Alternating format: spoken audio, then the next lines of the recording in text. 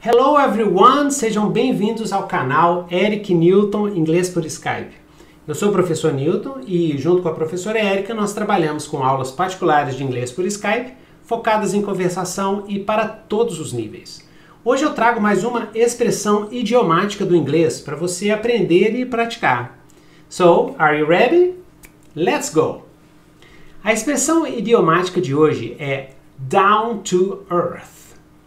Down to earth, que na tradução literal seria com os pés no chão, é uma expressão que usamos quando queremos dizer que uma pessoa é sensata, prática e realista.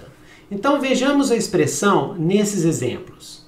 Stephen is an artist and a real dreamer, but luckily his wife Sarah is down to earth so she takes care of their day-to-day -day lives.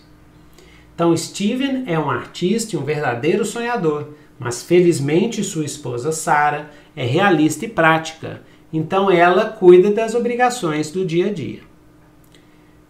We need someone who can come up with practical, down to earth ideas that we can work with in the real world.